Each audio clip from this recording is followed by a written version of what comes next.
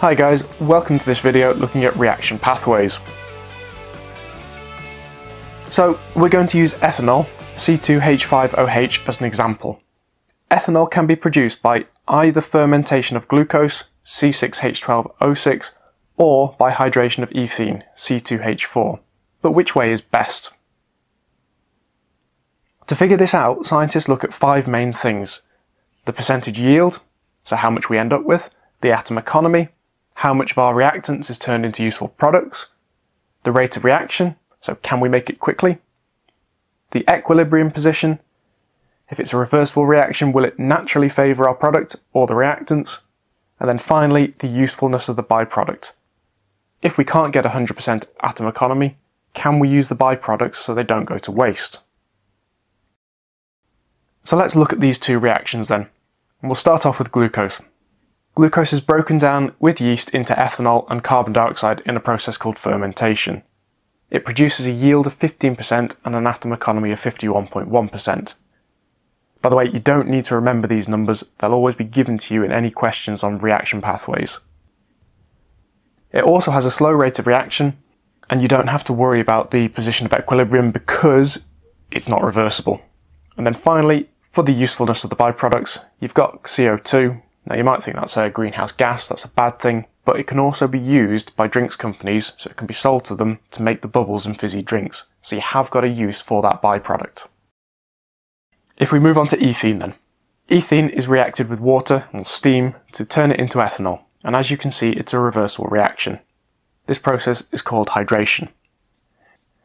It has a yield of 95%, which is much higher than fermentation, as well as an atom economy of 100%, because we've only got one product.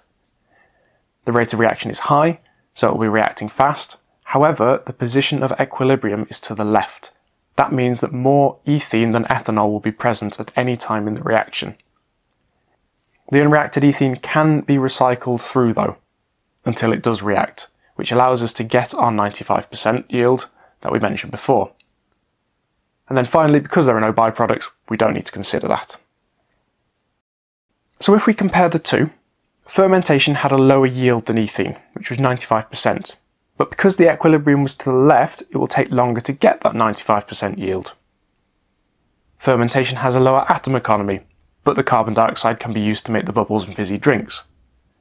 Whereas ethene gives 100% atom economy, so if you've only wanted to produce ethanol, that's a massive advantage. Fermentation has a lower rate of reaction than using ethene, so that's a disadvantage. And then the other thing that you can look at is where we get these raw materials from, the glucose and the ethene. Glucose is from plants, which can be renewable as long as you replant the plants. And then ethene is from crude oil, which is definitely not renewable, so that's a disadvantage. So which method should you use? And that's really up to you. Ish. You would be expected to use scientific ideas to back up your argument, depending on which pathway that you chose. So for example, if you chose fermentation, you would say it's because the raw materials are renewable and the byproducts can be used to make the fizzy drinks, so there's no waste. You'd also mention the downside would be that the yield is lower and it's slower to make. If you chose the hydration of ethene, you would say that it gives 100% atom economy and there's a fast rate of reaction. You'd also say the equilibrium is to the left, which is a disadvantage, but the ethene can be recycled, allowing you to get a high yield. That really is everything you need to know for this video. So let's have a look at how the examiner could ask you a question on this. Have a read through these questions, pause the video and have a go. As soon as you're ready, press play and we'll go through. Okay, let's go through. Again, there's no right or wrong answer to this as long as you use scientific reasoning. So if you chose pathway 1, you could say that it has a higher yield than pathway 2, meaning you would get more of the product. That would get you a mark. If you chose pathway 2, you could say that although it's a lower yield, the reaction is faster, so you'll get it quicker. And you've got the reverse argument for that, which is that pathway 1, the reaction is slower, so it will take longer to produce your iron chloride. In terms of atom economy, if you chose pathway 1, it has a higher atom economy, so there are no wasted atoms or reactants. Pathway 2 has a lower atom economy, but the byproduct is water and that has many uses. So either of those.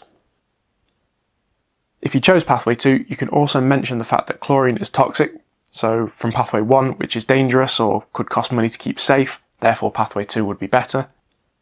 And then finally, I'd look at the production method. If you chose pathway 2, you would say that the electricity used to make the iron hydroxide could be from a renewable source, but pathway 1 definitely non-renewable, therefore pathway 2 could be better.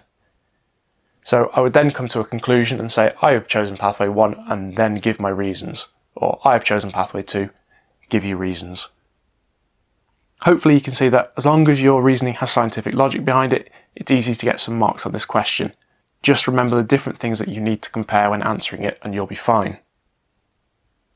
I have got a review question for you, so have a read through, have a go, and let me know your answer in the comments, and I'll tell you if you're right.